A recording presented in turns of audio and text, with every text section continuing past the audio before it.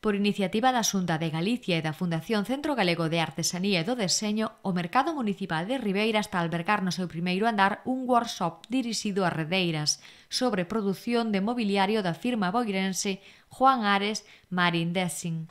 A acción formativa incardínase no programa Enredados, promovido polas Consellerías de Industria e do Mar, coa intención de impulsar a diversificación e a posta en valor do traballo das redeiras co deseño e produción de novos produtos artesáns.